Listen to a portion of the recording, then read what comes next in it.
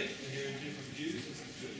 Uh, I want to ask, uh, cross the floor and cross back into another house and uh, call on Jason McCartney uh, to speak. Jason has also been co-stand and uh, took part in the no-fly zone in the 90s, which saved the Kurds 20 years ago, as much as we now need to say, help save the Kurds today. So Jason, your experience is valued and you have three minutes starting now. Uh, thank you very much indeed, Gary and Bayan, and thank you to the Centre for Turkey Studies and the Centre as well for Kurdish Progress. I have never seen this committee room as full as it is now, which shows there is so much passion, care and concern for this issue. So thank you for all turning up here this evening.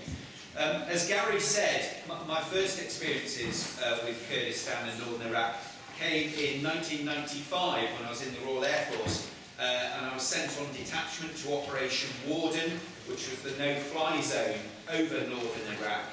Um, if you remember, after the end of the First Gulf War, uh, Saddam Hussein continued his persecution of the Kurds.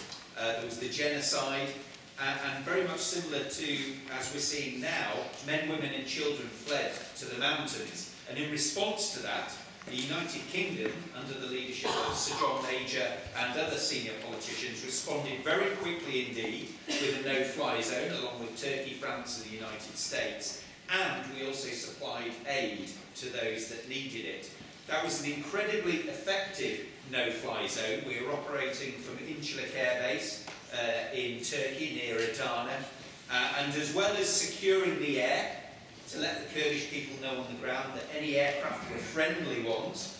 We were also operating on the ground, and I operated out of a little town called Zakho, where we had a military coordination centre, and we visited all the villages locally to let them know that the air forces above were friendly.